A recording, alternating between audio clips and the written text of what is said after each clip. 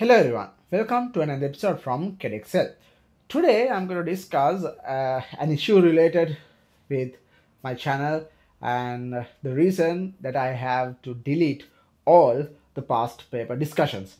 So most of you guys joined with the channel to go through the past paper discussions and check whether your answers are correct uh, because I have uploaded all the recent and uh, new past papers but uh, due to an instant I have to delete all the past papers discussion. Main reason is I get an official request uh, from Pearson Edexcel uh, to remove all the recent past papers.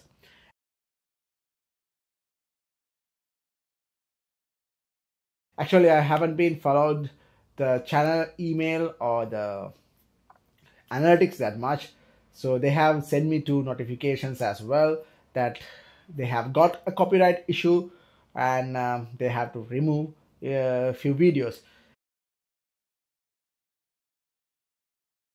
Actually i didn't know that they have removed six videos when i get an email from pearson to my personal email.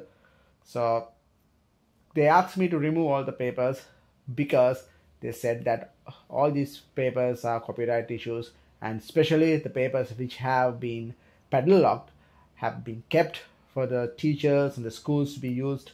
And since that I cannot use them in order to discuss and uh, to give the answers for you guys. So that's the reason I have to remove all the videos. I have got already two strikes for my channel which once I get an official uh, request as well as a warning I have to remove all these videos. So because of that I'm not going to upload any recent videos here after but when it comes to the positive side what we actually have to understand is we should not rely on a one paper or two papers. Because if you have the knowledge if you get the things properly you should be able to write any past papers. Because when I discuss those papers uh, I already explained uh, that most of these questions have been come as a past paper questions.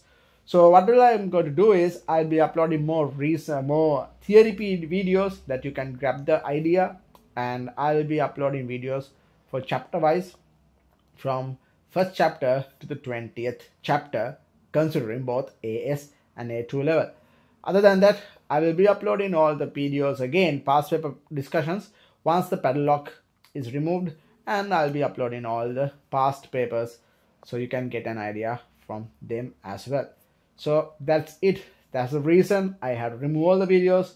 So hope you all can understand. Thanks for watching and uh, good luck with your exams